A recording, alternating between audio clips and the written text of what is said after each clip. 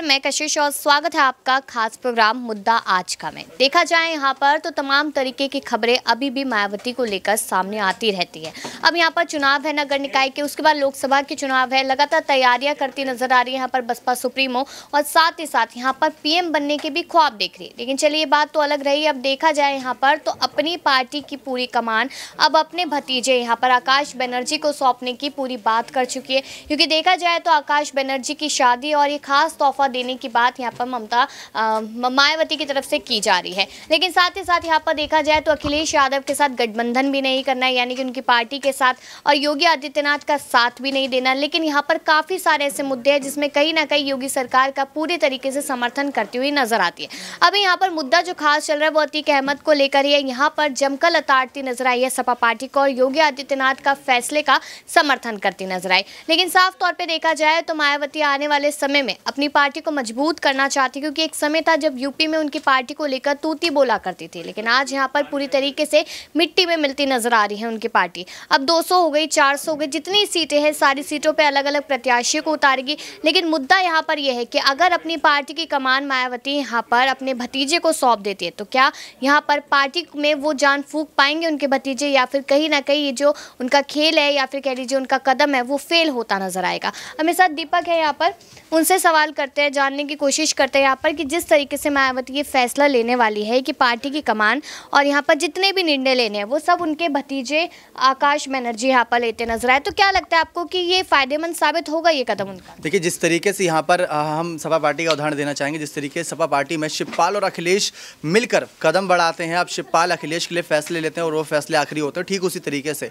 अगर मायावती का इतिहास उठाकर देखा जाए तो मायावती ने कई बार बड़े पद हासिल करे, लेकिन हर जगह नहीं पहुँच पाए वो दिल्ली तक गई, मध्य प्रदेश तक गई। कई अलग अलग राज्यों में उन्होंने सरकार बनाने की सोची, लेकिन मात इस वजह से खा जाती हैं कि उनकी पार्टी में सिर्फ़ उनके नाम के अलावा किसी और का यहाँ पर बड़ा चेहरा नहीं है। अगर अखिलेश की पार्टी में चले जाएँ तो कई सारे बड़े चेहरे हैं, राम गोपाल हैं, शिवपाल हैं, वैसे आज़म खान, वैसे बड़े बड़े लेकिन मायावती की पार्टी में अगर सभी समर्थकों से पूछ ले जाए कि कौन बड़ा चेहरा तो मायावती के अलावा कोई दूसरा नाम नहीं आएगा। इसी वजह से मायावती अपने रहते हुए अपने भतीजे को आगे बढ़ा रही है, क्योंकि बाकियों पर तो भरोसा रहा नहीं। स्वामी प्रसाद मौर्य को नंबर दो का मंत्री बनाया, लेकिन वो बीजेपी के साथ चले गए साल दो हज़ार सोलह में। और भी कई ऐसे मंत्री थे जिनको आगे करा लेकिन समय समय के साथ उन्होंने उनका साथ छोड़ दिया, क्योंकि जब सरकार गिरी, जब उनके अच्छे दिन चले सब उनके साथ थे। लेकिन जैसे मायावती के बुरे दिन शुरू हुए, वैसे मायावती का साथ छूटना शुरू हो गया। लेकिन अपने बहुत सोच समझ कर साथ छोड़ेंगे, अभी तो कहाँ तक ही जाएँगे? वापस तो उन्हें वहीं आना है, क्योंकि बाकी पार्टियों में जाएँगे तो मान सम्मान नहीं मिल पाएगा। तो इसी वजह से इस बार मायावती उसी रणनीति पर चलना चाह रही, जिस रणनीति पर अखिलेश यादव चले थे। अखिलेश यादव ने चुनाव से पहले अपने चाचा के पैर पकड़ लिए थे, जिनको चुनावी चाचा कहा जाता है आज के समय में। और ठीक उसी तरीके से यहाँ पर अगर बात करें, अपने भतीजे को अगर ज़िम्मेदारी सौंप रही है तो यही सोचकर ज़िम्मेदारी सौंप रही है कि लोकसभा विधानसभा चुनाव में भी थोड़ा वक्त बचा है। नगर निकाय चुनाव उससे पहले एक छोटी सी अग्नि परीक्षा हो सकती है। अगर वहाँ पास हो जाते हैं तो लोकसभा चुनाव में दाव लगाया जा सकता है वरना यहाँ पर इनको पीछे लेकिन अगर यहाँ पर देखा जाए कि अतीक अहमद का ही मामला इस वक्त सबसे ज़्यादा सुर्खियों में बना और यहाँ पर उन्होंने कहीं ना कहीं जो पार्टी है सपा पार्टी अखिलेश यादव शिवपाल सिंह यादव दोनों को लताड़ती हुई नज़र आई उन पर आरोप लगाती नज़र आई और यहाँ पर योगी सरकार के फैसलों का लगातार समर्थन करती नज़र आई अब इसको लेकर तमाम तरीके के अलग अलग कयास लग रहे हैं और कयासों का जो बाज़ार है, चुनाव आते आते और ज़्यादा गर्म होता नज़र आएगा। तो आपको क्या लगता है कि यहाँ पर किस तरीके से इस बात को माना जाए कि उनका समर्थन कर रही है? देखिए, अगर यहाँ पर समर्थन की बात आ रही है तो समर्थन किसी का नहीं कर रही वो जो मुद्दे हैं, उनके खिलाफ आवाज़ उठा रही चाहे आज़म खान का मामला हो, चाहे अतीक अहमद का मामला आज़म खान के खिलाफ यहाँ पर हमने देखा था, गलत हुआ था, सबको पता था कि रामपुर और कहीं ना कहीं मैनपुरी सीट का सौदा हुआ था, ऐसे कहीं ना कहीं मायावती ने आवाज़ उठाई थी। और अब मायावती अतीक अहमद के खिलाफ आवाज़ उठा रही तो उनका मकसद किसी के खिलाफ या किसी के समर्थन में नहीं, बल्कि जो गलत हो रहा है, उसको सामने लाना है।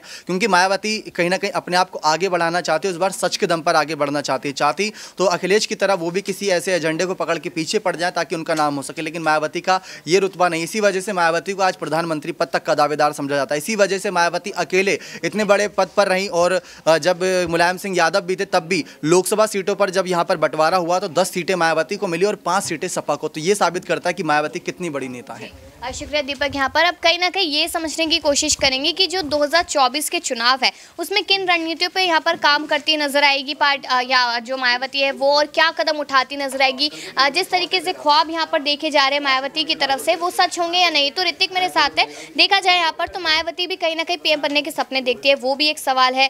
यहाँ पर अब कहीं ना कहीं उन्होंने कहा कि आकाश बनर्जी जो उनके भतीजे उनको वो पार्टी की कमान सौंप देगी ताकि युवा सोच यहाँ पर काम आ सके। आपको लगता है कि वो जो सोच होगी युवा की तो नए लोग यहाँ पर पार्टी के अंदर आएँगे उससे फ़ायदा होगा मायावती को? देखिए मायावती तो राष्ट्रपति बनना भी चाहती थी लेकिन नहीं बन पाई। मायावती ये सोच रही कुछ तो मिले कुछ भी नहीं मिल रहा सबसे बड़ी बात निकल कर ये आती है यहाँ पर कि मायावती ने एक प्रेस कॉन्फ्रेंस की थी जिस प्रेस कॉन्फ्रेंस में साफ़ तौर पर उन्होंने कहा था कि अगर ईवीएम बैन कर दी जाए तो मैं आज नहीं अभी मैं चुनाव जीत जाऊँगी। तो कहीं ना कहीं मायावती जो राजनीति इस समय खेलती हुई नज़र आ रही है वो आप समझ सकते हैं कि क्या है। कभी बीजेपी का साथ देती है तो कभी पर्दे के पीछे जो है अखिलेश का साथ देती है। आपको याद होगा कि मेनपुरी खतौली जब रामपुर के चुनाव हुए तो, तो उस वक्त कोई भी अपना प्रत्याशी यहाँ पर नहीं उतारा था। तो ये कहीं ना कहीं अखिलेश यादव के लिए अच्छा कदम था। तो मुझे लगता है कि चाहे वो किसी को भी उतारने का यहाँ पर प्रयास करें, अगर पार्टी को एकजुट करना है और अगर बसपा पार्टी को मज़बूत बनाना तो सबसे पहले यहाँ पर तमाम नेताओं को जोड़ने का प्रयास करना पड़ेगा। क्योंकि लगातार देखा जाए तो एम बाई समीकरण अभी अखिलेश यादव का मज़बूत होता हुआ नज़र आ रहा है। अखिलेश यादव पूरी कोशिश कर रहे हैं। तो अगर यहाँ पर गठबंधन जैसे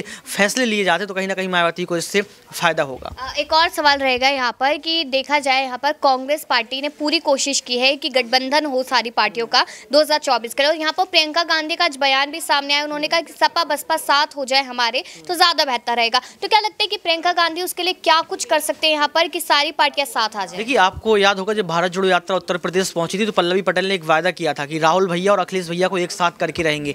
इसके बावजूद भी पल्लवी पटेल खुद भारत जोड़ो यात्रा में नहीं पहुँचती हैं। लेकिन जिस तरीके से आजकल जो तस्वीरें सामने आ रही वो कहीं ना कहीं लग रहा है कि आने वाले वक्त में गठबंधन हो सकता है। चाहे वो भारत जोड़ो यात्रा की तस्वीर हो, चाहे वो अखिलेश और केजरीवाल की तस्वीर हो चाहे प्रियंका गांधी का जो बयान हो वो। तो अगर यहाँ पर गठबंधन होता है तो विपक्ष जो है मज़बूत होकर मोदी जी को यहाँ पर झटका दे सकता है लेकिन जीत 2024 में अगर देखी जाए आंकड़ों के तहत तो मोदी सरकार की बनती नज़र आ रही है। यहाँ पर।